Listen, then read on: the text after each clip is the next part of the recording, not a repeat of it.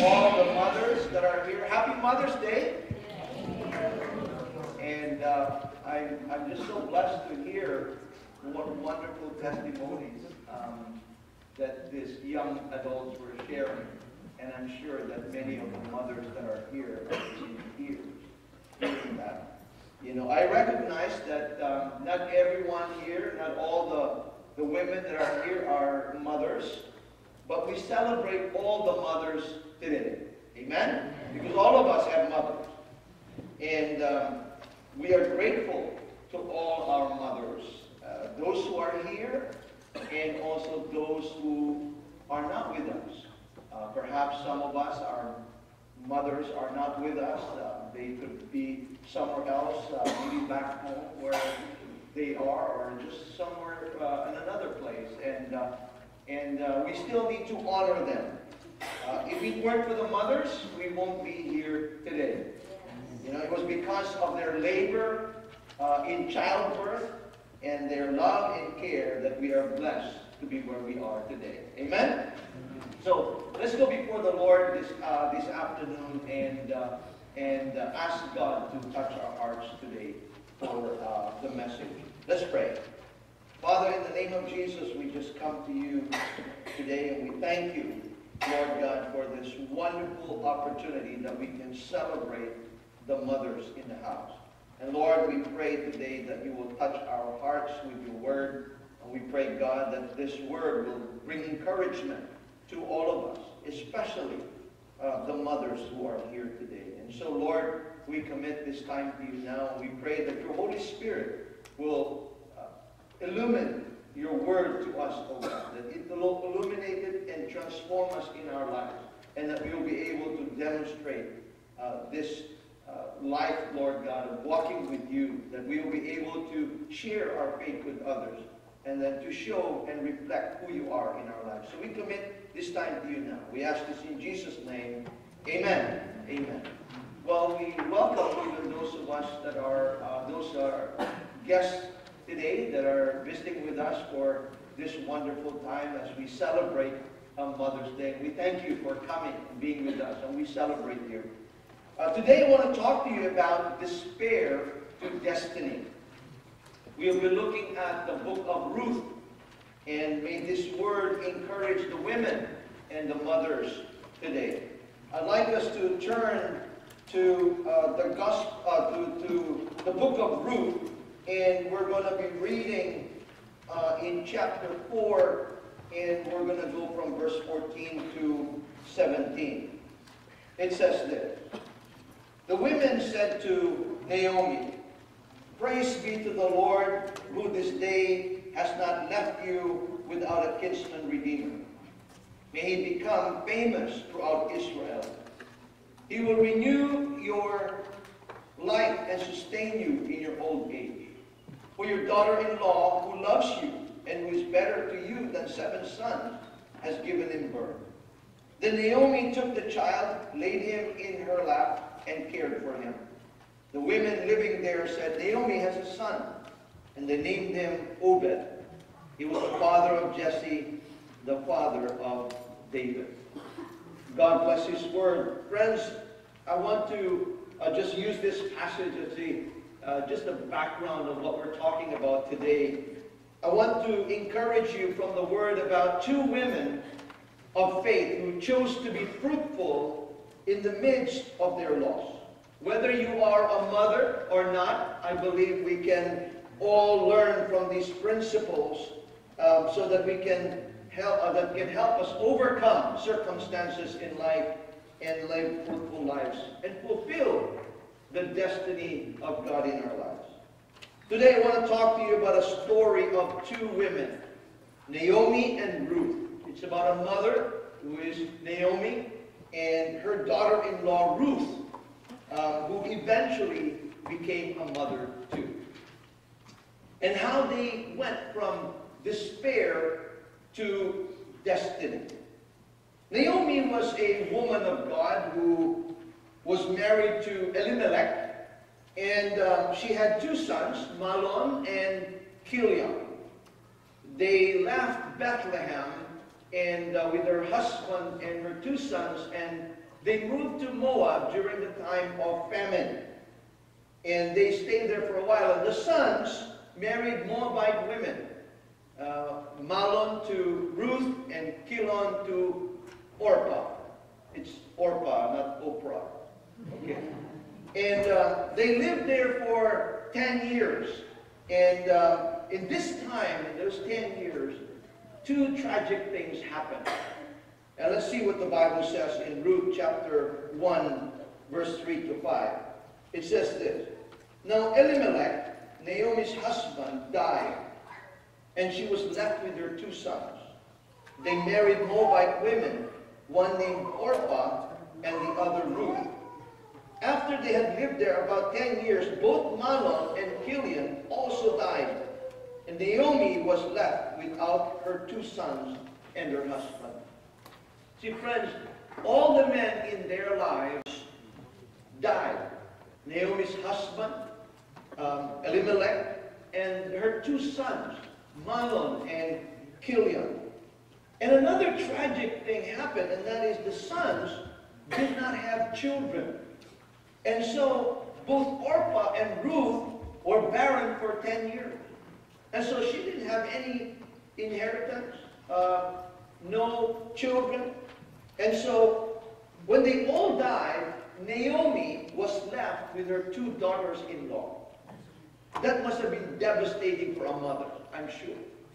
Imagine the love of her life, you know, not only to lose her husband, but even her two only sons that she lost. Notice that the scripture even emphasized. It said Naomi was left without her two sons and her husband.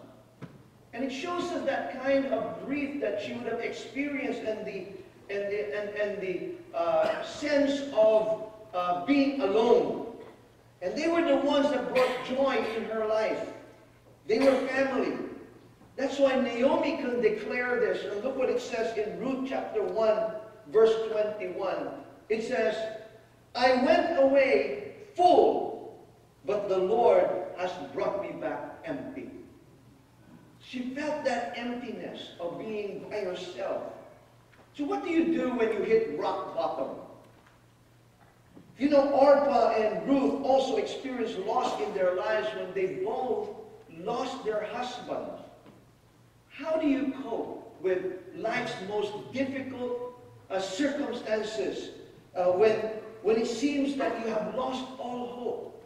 Now remember that in those days that it was normal for uh, wives to be able to stay at home and husbands would go out and work uh, and provide for their home. And so you can imagine when you lose a husband, you are basically hopeless and helpless. And uh, you could become destitute. But with God, nothing is over until God says it's over. Amen? The Lord can turn any situation to bring good and fulfill your destiny. Here's what the Bible says in Romans 8.28. And we know that in all things God works for the good of those who love him, who have been called according to his purpose. I want to encourage you today that not everything is good. Things don't look good. Maybe there are times when it's really bad. So things don't look good, but God can turn it for good. According to his purpose, because he will fulfill the destiny that you have in your life. When we look at the life of Naomi, in the beginning we see a woman that was broken, devastated with grief, feeling alone, without family. At the end, we see that passage that we read a while ago. At the end, we see her proudly embracing her grandchild. When we look at Ruth, in the beginning, we see a woman who lost her husband. She was barren and hopeless. But at the end, we see a woman whom the Lord has favored with a wonderful husband, Boaz, and then she became fruitful Out of her womb came the line of David and ultimately the Messiah, Jesus. Wow, what a story. I want us to look at what these women did and how they turned from their despair to their destiny. First of all, Naomi turned to the Lord as her source of strength and provision. Naomi turned to the Lord as her source of strength and provision. See, Naomi heard that the Lord is providing in Bethlehem, where she came from. So she decided to go back. Now, I want to uh, read the scripture in Ruth chapter 1, verse 6 to 7. It says, When Naomi heard in Moab that the Lord had come to the aid of his people by providing food for them, she and her daughters-in-law prepared to return home from there. With her daughter, two daughters-in-law, she left the place where she had been living and set out on the road that would take them back to the land of Judah. You know, it made sense for her to go back to her roots, to go back to the basic, which was to put her faith back in the Lord. Not in her abilities, not in her things that she could do, but to go back to her Lord. See, with friends, we all face challenges and difficulties in our lives, uh, whatever season that we are in. Sometimes they're overwhelming, and it feels like sometimes that we will, we will feel hopeless and, and helpless. But friends, sometimes it may, be, it may be so simplistic, but it is in those times that we need to remember to go back to our roots of faith. In those difficult moments, in the times that we feel helpless, that's not the time to start scrambling to try and find ways that you can do things, but to go back to your faith in God. Naomi came from Bethlehem. She was an Israelite, and she had moved to Moab with her husband and two uh, two, and, and her two sons. And Moab was not her home. In fact, the Moabites became the enemies of Israel. They worshiped many gods, including Baal. I want you to look at the scripture in Numbers 25, verse 1 to 3. It says this. While Israel was staying in Shittim, the men began to indulge in sexual immorality with Moabite women, who invited them to the sacrifices to their gods. The people ate the sacrificial meal and bowed down before these gods. So Israel yoked themselves to the Baal of Peor, and the Lord's anger burned against them. See, so you see there's a history of the Moabite women who seduced the children of God uh, and invited them to worship and make sacrifices to their gods including Baal. And so the Lord was angry with, uh, with them for doing that. Perhaps that's what might have happened. That the two sons have married two Moabite women. And uh, friends, this is the situation that Naomi found herself in. She was in a different land with two Moabite women, and so she begins to she began to go back to her faith. Having lost her husband and two sons, Naomi turned to what she knew, and that was her faith in the Lord. So she went back to her family of God where everyone knew her. Thank God for the family of God. Where we can go back and, you know, when, when you go and do your thing and, and you know, and, and you go through the struggles of life, um, Thank the Lord that there is still the family of God where you can go home to. Where people can encourage you in your faith. Do you know that you have a family of God? And that's what exactly happened to Naomi. That she went back to her home. Where she was familiar, where people can give her encouragement. And she can go to that family of God that will encourage her. And so praise God. You know, it talks about the, the Moabite, uh, Moabites have other gods. It talks about so many different gods. But you know that in our times, we also have many gods. You know, and, and people who would, anything that you would put before God is a God. It could be money is a God. It could be career is a God. It could be, you know, uh, the things that you pursue. It could be a hobby. And uh, those things could become gods. You know, pursuing those things and putting them before God. That's why the first commandment says, do not put any God before him. And that is, you know, things in life could become gods. And so we're encouraged today that, you know, when these things happen, and uh, there are many gods that are taking us and distracting us, it's time to go back to the Lord. Amen. Amen. Go back to the family of God, where we are encouraged once again. So she went back to her family, and that move changed her destiny. Just that move. She could have stayed in Moab, where her husband uh, died and her two sons died. I mean, some people do that. They stay where, you know, their, their family has been buried. And she could have stayed there, but that was not God's will for her. There may be some of us who are here today, and perhaps even mothers, that are going through a very difficult time. Remember that the Lord is here for you. I want you to know today that He is your strength and He is your provider. I want to encourage you that God is with you no matter what the circumstance you're in. Don't remain in your despair. But make a decision to turn to the Lord and change your destiny. Friends, as a mother, your decision will affect your family. As we have heard, some of the testimonies of the young people, that the sacrifices of their mothers and the things that they have done have affected the next generation. See, Ruth also turned to the Lord. Even though she didn't know the God of Israel, she turned to the Lord. And that decision changed her destiny. She wanted to make sure that they will be fine. She cared about them and treated them as her own daughters. She wanted them to be happy, to have a husband that can provide for them.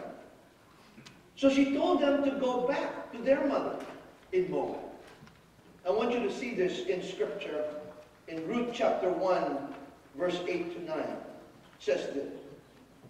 Then Naomi said to her two daughters-in-law, Go back, each of you, to your mother's home. May the Lord show you kindness as you have shown kindness to your dead husband and to me. May the Lord grant that each of you find rest in the home of another husband. So she even blessed them. She wanted the best for them. She, she was willing to release them, to go back to their mothers. And maybe, perhaps, they will find joy in finding a husband and living happily ever after. So with that, Orpah kissed her goodbye, and she went on her own way. But Ruth didn't want to leave. Ruth didn't want to go, and it's obvious that Naomi lived a life that demonstrated her faith in the Lord. Why? Because Ruth saw it and wanted what she had. I'm sure that over the years that they lived together, when they were together, I'm sure that Naomi was practicing her faith while she was in Moab and she was with Moabite women who had other gods, and yet here was a woman of God probably practicing her faith. And so Ruth saw that to the point that it made an impact in her life. And so she was she, uh, she, she wanted to stay. She wanted what Naomi had. Even though Naomi urged her to go, to go back to her mother and to her people like her sister-in-law, she was still willing to stay. Look at what the scripture says in Ruth chapter 1, verse 15 to 17. I love this part where it says this Look, said Naomi, your sister in law is going back to her people and her gods. Go back with her. But Ruth replied, Don't urge me to leave you or to turn back from you. Where you go, I will go. And where you stay, I will stay. Your people will be my people, and your God, my God. Where you die, I will die, and there I will be buried. May the Lord deal with me, be it ever so severely, if even death separates you and me. Wow, what a statement. I mean, she was willing to not even go to her own mother and stay with this mother-in-law. You know, she was so impacted that she wasn't willing to be separated from her. Even death will be the one that can only separate them. Friends, mothers, sometimes you may feel that your life and faith is not making a difference. Maybe there are times when you feel like you've been sharing it, you've been telling your children, you've been telling people, but it just doesn't seem like it's working. It doesn't seem like they're understanding what you're saying. Maybe you've tried to bring them to church. Maybe you have expressed your faith to them. But somehow it's just not coming, uh, you know, and, and they're just not following what you're saying. But I want to encourage you today that in the midst of all of that, even though you're doing that, I want you to know today that there could be a Ruth around you. you know, that those around you sometimes may not really care about what you are imparting to them. But you will be surprised that there is a Ruth that wants to walk with you. Who wants what you have? Orpah went in her own merry way to her people and her gods to do her own thing. But, and, and to Orpah, by the way, she was just basically a mother-in-law. That's what all she was. There was really no relationship. She was a mother-in-law. There was nothing more that they had because the son that had the relationship was gone. So there was nothing left there but Ruth was different. Ruth was different because Naomi was like a mom to her. This is interesting because sometimes, listen, sometimes I hear that mothers don't get along with their daughter-in-law. I, I just hear that. I don't know, sometimes. Okay.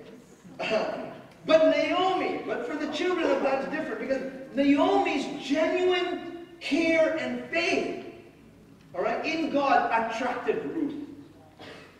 Right? It attracted Ruth. I'm sure Naomi treated them both the same. You know, she, she loved both of them. She cared for both of them. She gave them both opportunities. Even in this time of, in their season, she gave them both the same opportunity. But she received two different responses. One established a relationship and the other didn't. Moms, don't get discouraged in sharing your faith and giving of yourselves. I encourage you today. There are those who will not see what you see and what you are giving to them. They don't see the value of what you're trying to share to them. But there will be people, maybe a daughter, maybe a daughter-in-law or son-in-law or a son or a spiritual son who will love you for what you have instilled in them. I want encourage you. You have inspired them to the point that, that they want to journey with you. where they can say, where you go, I will go. Well, where, you know, where you stay, I will stay. Your people will be my people, and your God will be my God. I just want you to take me to the land of blessing. I want to journey with you. They want you to take them to their destiny of blessing. Friends, if it weren't for Naomi, Ruth would have continued to be barren all her life. If it wasn't for Ruth, uh, for Naomi. She would have lived an insignificant life. Ruth would have remained the same, insignificant, but instead, she was instrumental to the line of David and the Messiah. Ruth's life became very significant. In fact, it was so significant, a whole book was written about her. Imagine that. That your life is so significant, somebody writes a book about you. Isn't that amazing? All because Naomi was willing to be used by God. Imagine that a mother would just give her, give her uh, herself up, even for a, a daughter-in-law, not even related to her, to give them opportunity, even a book written about them. Let them be significant. You know, it's a mother who was more interested with the future of her daughter than her own. And I know there are many mothers like that here. That you are more concerned about the future of your children than your own. That you've made the sacrifices where you are because you love them and you care for them. And you are willing to forego your own desires so that they will fulfill their destiny. I want to encourage you today. Don't give up on doing what you're doing. Friends, moms, when you demonstrate your faith to your children, you will never know the impact that you will have in the generations to come. Look what Paul said, the apostle, to his spiritual son Timothy. 2 Timothy chapter 1 verse 5 says this. I am reminded of your sincere faith, which first lived in your grandmother Lois and in your mother Eunice, and I am persuaded now lives in you also. Imagine that. Starting from the grandmother, the grandmother Lois who had faith, and that faith was passed on to her daughter, who is Eunice, and that faith was passed on to her son, who is Timothy, who became the spiritual son of the Apostle Paul. What a great legacy. All because of a mother who was willing to pass on her faith.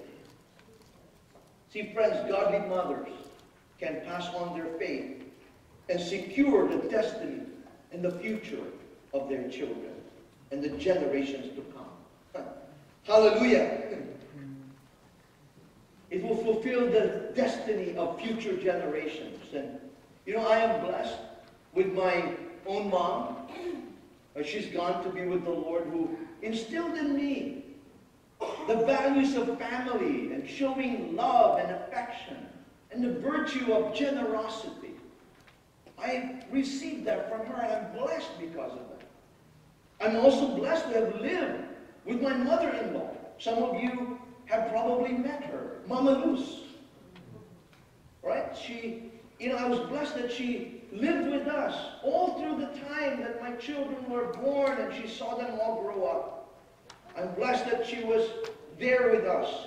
And because of her faith, actually, Elby found the Lord. It was her who shared the faith that for her to look for the people of God. And she found faith. Not only did she found faith, but she found a husband that is the Lord. Like a Boaz. It, it will be her turn in Father's Day. So. But you see, friends, my mother-in-law helped us raise our children while serving the Lord. Little did they know that the impact of the life, their life. I'm sure both of them now, our both mothers are now smiling uh, to see their grandchildren who've risen up serving God, pastoring and you know, worship leader and and people who are advancing the kingdom of God. they would have never known. I wish they were here to be able to see that.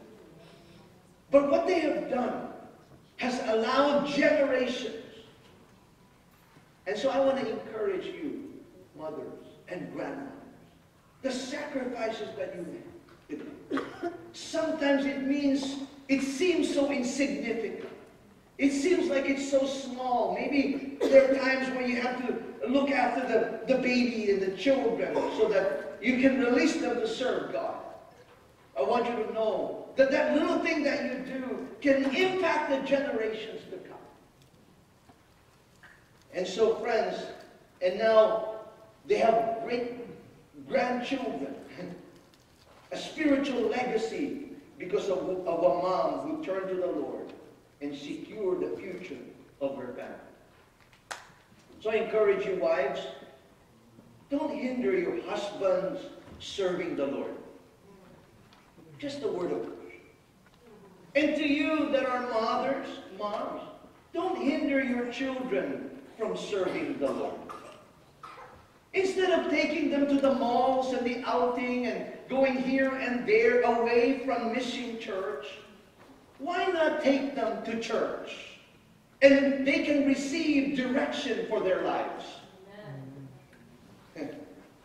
Friends, in 25 years of ministry, I have seen mothers that we have walked with, and I've seen them have raised up their children and bring their children to the Lord and, and, and encourage them to come to church and, and, and, and make sacrifices so that they can bring them. And I've seen them rise up, and even the young generation and those that are preaching now and advancing the kingdom of God, and their lives are in order.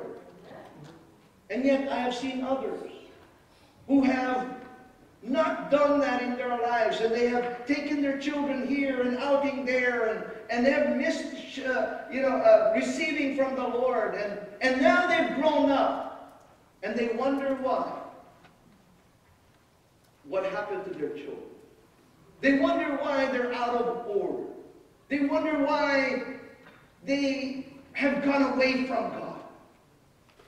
Well, friends, the values you instill in them now will bear fruit for generations to come and secure the future of your family. You can only do legacy one time. You only have one chance. You can't do it again. We can't say, well, I kind of messed it up. Let me just repeat this whole thing. And, and, and let me begin again a, legacy. Once it's done, you can't repeat and rewind the tape. It's over. The, the time to do that is now. To be able to, to instill the values of faith and encourage our next generation, this is the time. And you know what? God is a God of second chances. We can start now just as Naomi and Ruth started. And from that time they began and God gave them a chance to be able to do that. Remember that Ruth was even away from God. She was not an Israelite. She was a Moabite. But she had an opportunity to know the God that, that Naomi knew. That she could have that faith in God and, and begin her life that way. And from that time, she was, God used her to be able to raise up a generation. And we know that out of her came King David, and out of her came the Messiah, Jesus. Isn't that amazing? Coming from a negative to a wonderful Mm. legacy.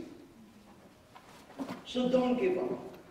Giving of yourself so that your family will know God. If you've been doing that, that's great. Continue on.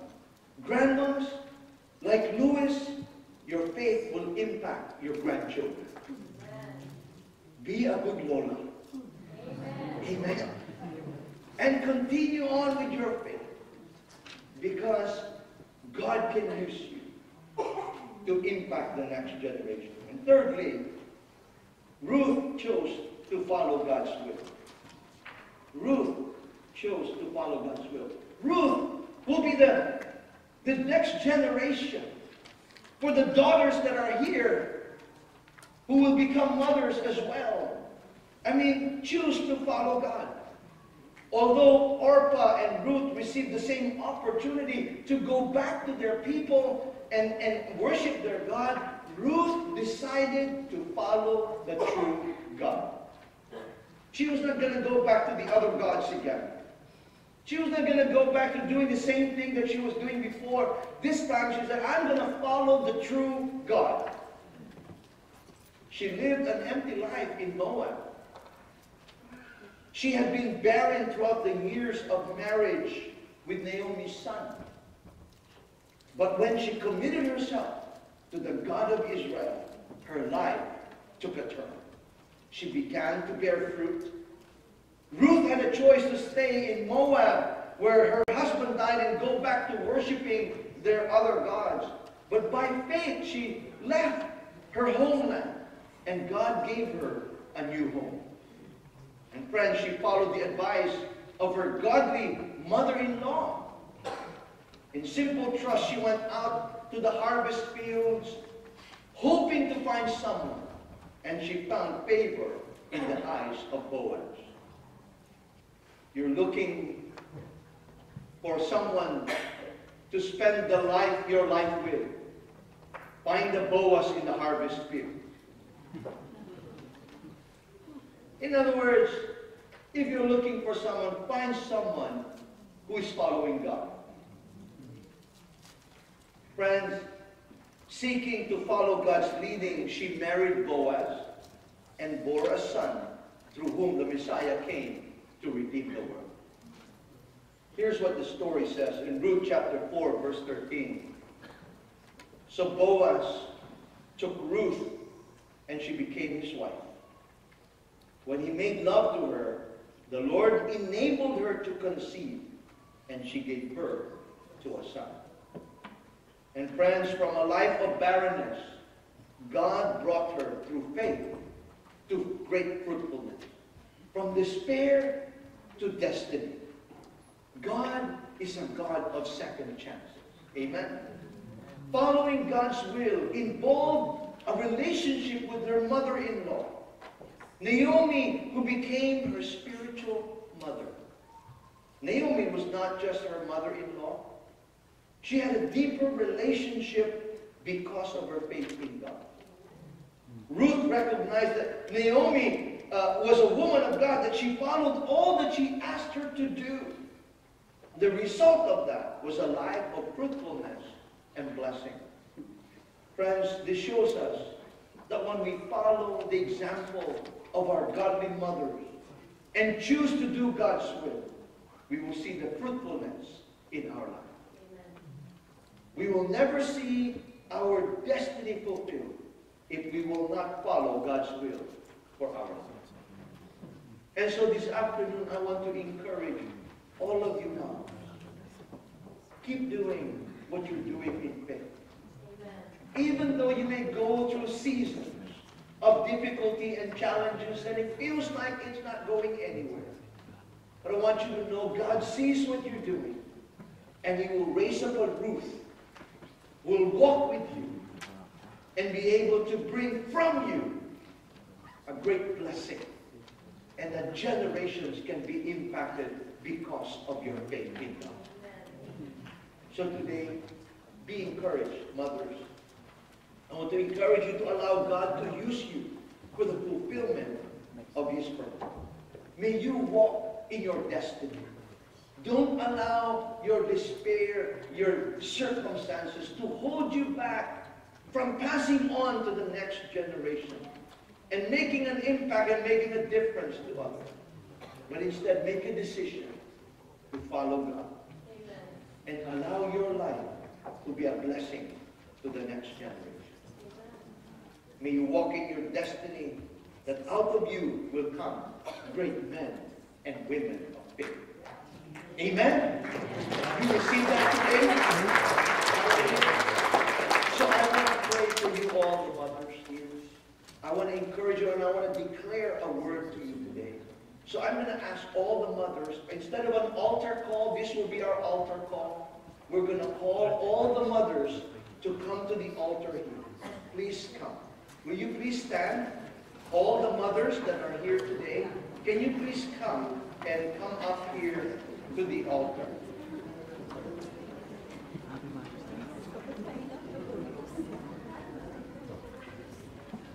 Please come.